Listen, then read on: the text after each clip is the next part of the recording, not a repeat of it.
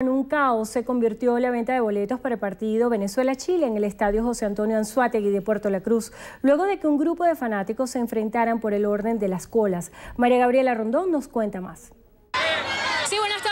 Nos encontramos desde el estadio José Antonio Anzuategui de Puerto La Cruz, donde la fanaticada continúa realizando las colas para adquirir el boleto para el encuentro Venezuela-Chile. Extraoficialmente se pudo conocer que durante horas de la madrugada se presentó una riña donde resultaron heridas de puñalada dos personas que actualmente están siendo atendidas en el hospital Luis Racetti de Barcelona. Tiene un comunicado que dice que tienen toda la semana para vender entradas y desde el domingo no venden entradas. Desde el domingo no están vendiendo entradas. Aquí tenemos desde ayer haciendo la cola todo el día.